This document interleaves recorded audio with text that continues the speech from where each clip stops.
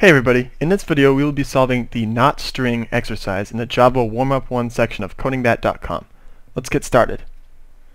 Given a string, return a new string where not, with a space, has been added to the front.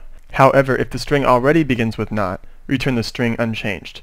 And they tell you to use dot equals to compare two strings. Okay, so let's write this out. The first thing we want to do is return str, which is the string, if it already begins with not. So just like in this example, not bad, it returns not bad, not, not, not bad. Wow, that's confusing. Okay, the next thing we want to do is return not with a space in front of the string, so we're going to do plus str if it doesn't start with not. So let's write our if statement.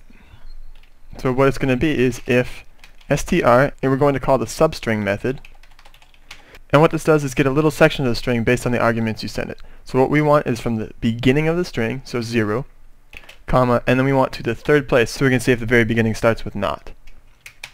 And then we call dot equals, and this is the way it told us to compare the two strings, and we're just going to check if it equals not.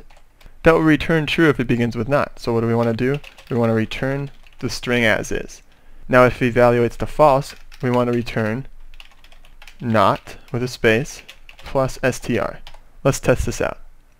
Hmm, as you can see we get a string out of bounds exception.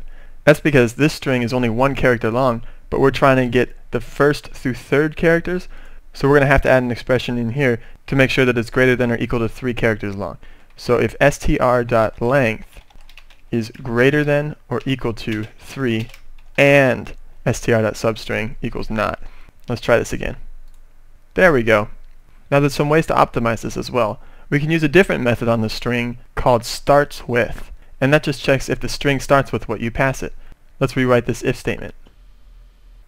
So if str.starts with, then we can just pass it not. Let's try that one out. Oh, even a gold star.